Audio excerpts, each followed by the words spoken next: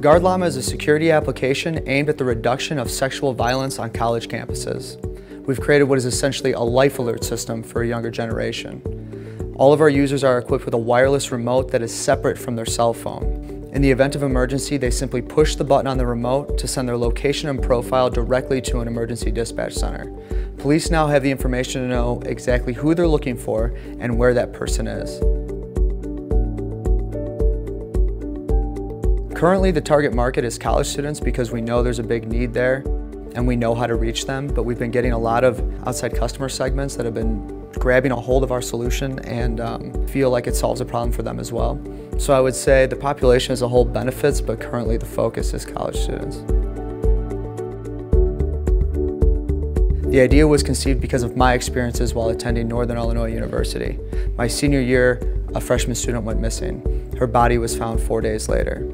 She did not have the ability to dial 911 and there were no emergency call boxes within reach. It is my belief that this device would have saved her life.